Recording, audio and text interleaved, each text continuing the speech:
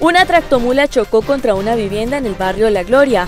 El conductor del automotor hacía unos minutos había descendido del mismo a realizar un giro cuando de repente el vehículo de carga pesada que se encontraba estacionado retrocedió por al parecer fallas mecánicas. Estaba en la casa de Chance y la mula se retrocedió, o sea, se soltó solita. ¿Cómo fue? ¿Por qué falla mecánica? Pues todo podría estar ahí. No, no, horrible, mejor dicho, es indescriptible. Por fortuna no hubieron lesionados, solo daños materiales. En este hecho, una motocicleta y una parte de la infraestructura de la casa se vieron afectadas por el vehículo.